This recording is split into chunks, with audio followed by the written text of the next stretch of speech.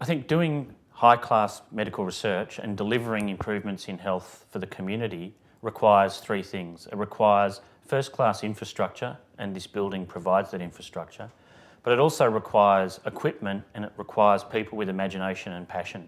And I think this building will allow us to attract funding agencies to equip the, the, the Institute with the technology it needs, but probably more importantly, this new building will act as a magnet for talented people around Melbourne, in Australia and overseas to come to work at this institute and create a vibrant future.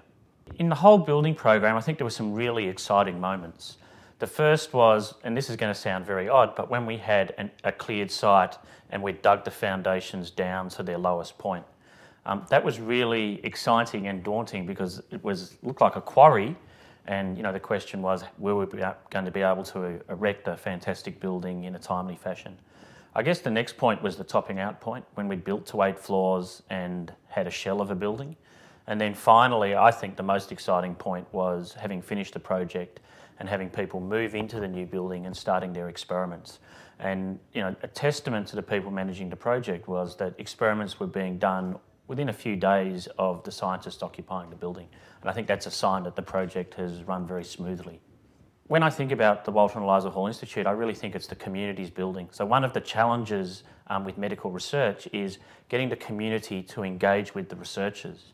We've spent a lot of time thinking about how to do that. And the Galleria, which is uh, a, a, a, long tunnel that links the uh, old building with the new building, offers a fantastic uh, place to do that.